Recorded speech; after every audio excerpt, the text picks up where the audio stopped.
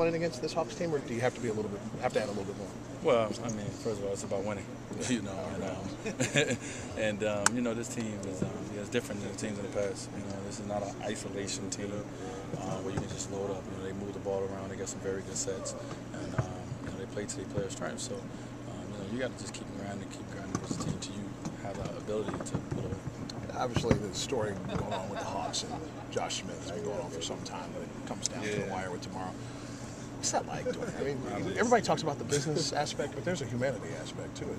Yeah, I mean, I, I don't know. Uh, in my you ten years so far, I haven't Got had to deal with experience that. But like I said, I mean, Josh has been dealing with this for many years. Um, and Got a chance. Also, anything is In there, he's- swim He's doing what he's supposed to do, and that's just continue to play well.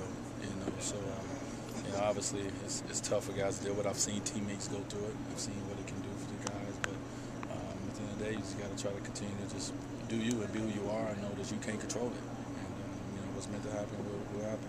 I mean, you, had a, you had a couple of years there where you had the Shaq trade almost at the deadline. The year after, when Shawn was traded for Jermaine, how nice is it that you guys have been able to have continuity the last two, three years, to so that there's no major overhaul in February? Yeah, it's been very good. I mean, like, it's good that you know right now we're not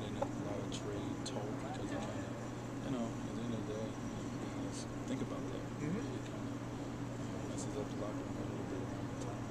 So not having to deal with that, it keeps everybody intact. We're able to focus on what we need to do instead of focusing on other things. What would you tell